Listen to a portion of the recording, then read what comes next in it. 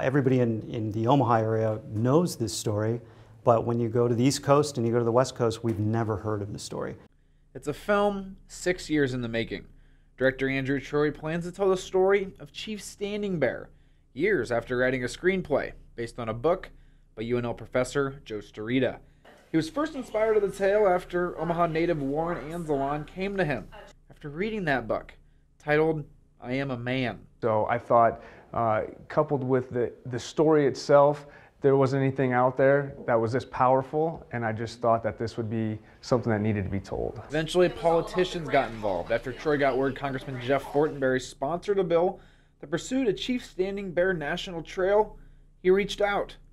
Fortenberry loved the idea. It's a story that all of Americans need to hear and that Nebraskans can certainly be proud of. This announcement comes right after a statue of Chief Standing Bear was recently unveiled in D.C.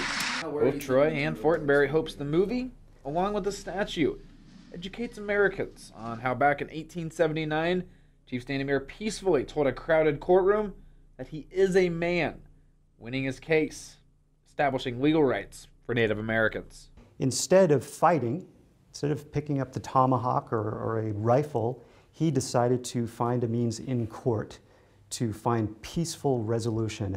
The movie is set to be filmed in Nebraska, specifically Fort Omaha, including right here at the Crook House. While the heavy lifting is done, a few final steps need to be made before filming can begin.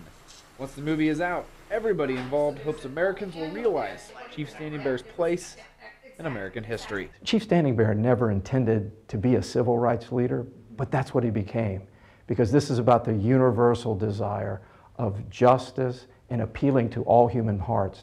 In Omaha, John Kipper, 3 News Now.